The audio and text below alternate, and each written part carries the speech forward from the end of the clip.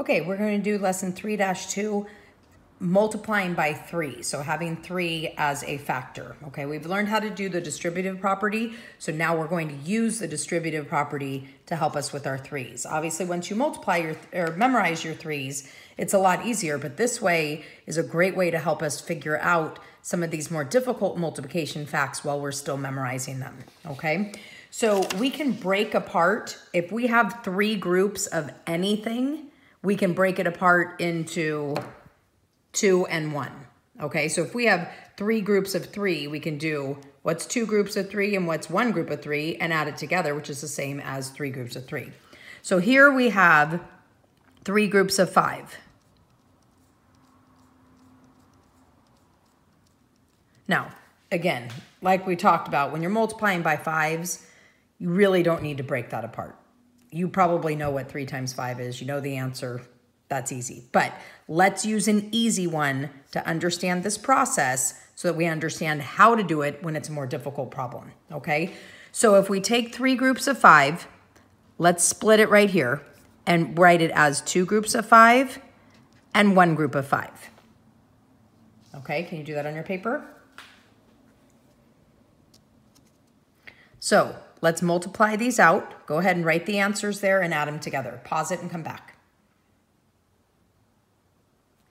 Okay, so you should have gotten 10 plus 5, add them together, and that's 15. Okay, so let's, let's use our cool parentheses here.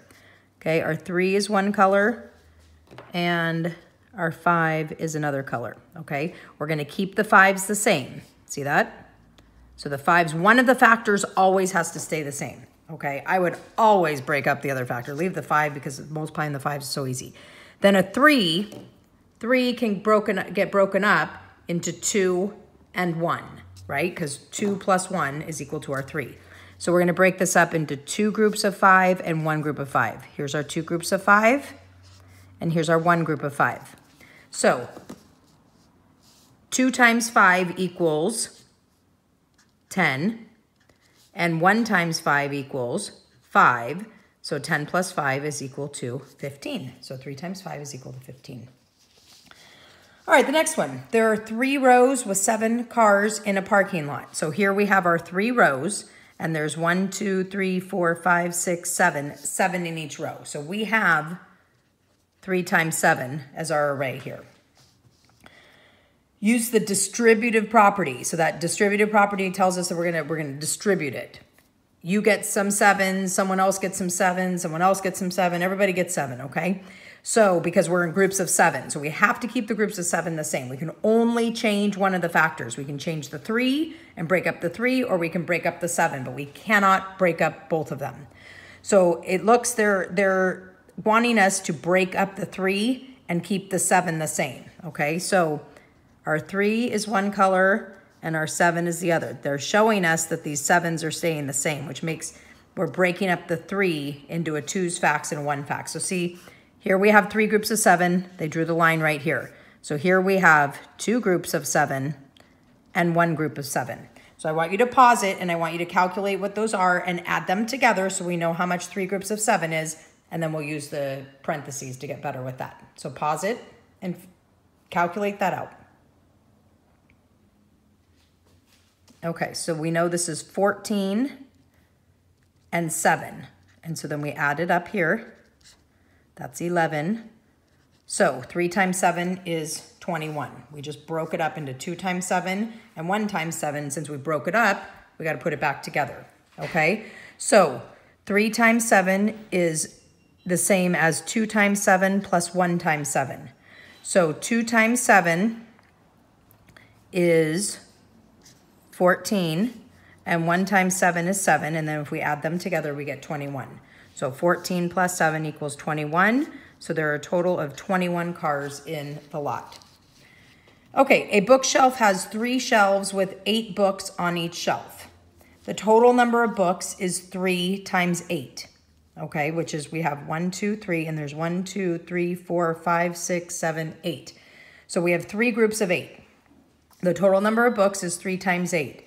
Use ones and twos facts to find the total number of books on the shelves. So we want to split it here into 2 times 8 and 1 times 8, because this is two groups of 8 and this is one group of 8. So I want you to pause it, calculate what that is, and add them up.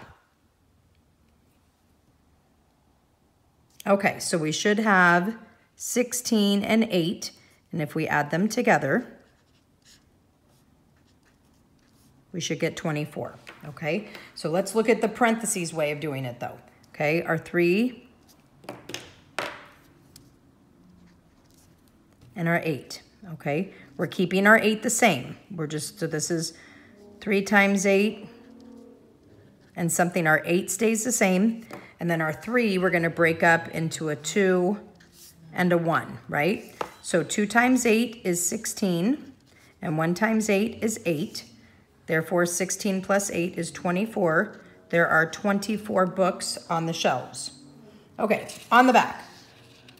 Draw an array to show three groups of nine, then break the array apart to show how you can use two's facts and one's facts to solve the problem.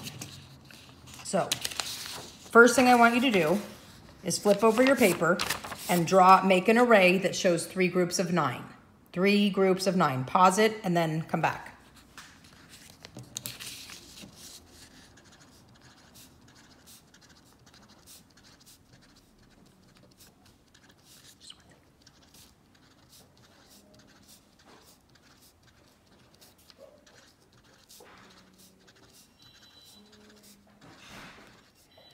Okay, so you have three groups of nine up here.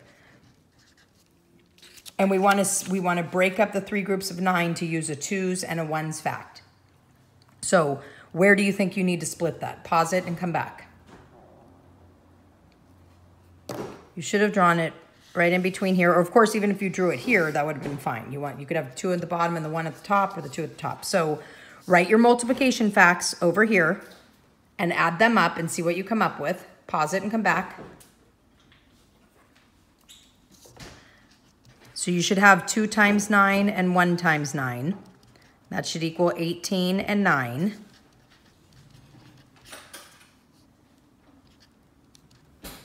And that equals 27. So let's draw our um, parentheses. Okay, now we have a 3 and we have a 9. So our 9 stayed the same. Now what did you break your 3 up into? You broke it up into two groups of nine and one group of nine. So I want you to calculate what those would be. Obviously, you should be getting the same answers. It's just a different way of doing it.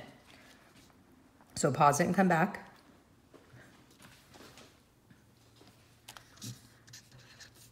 Okay, 18 plus 9, if you add them up, it equals 27. So 3 times 9 equals?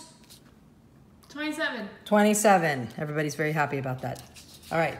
Good job.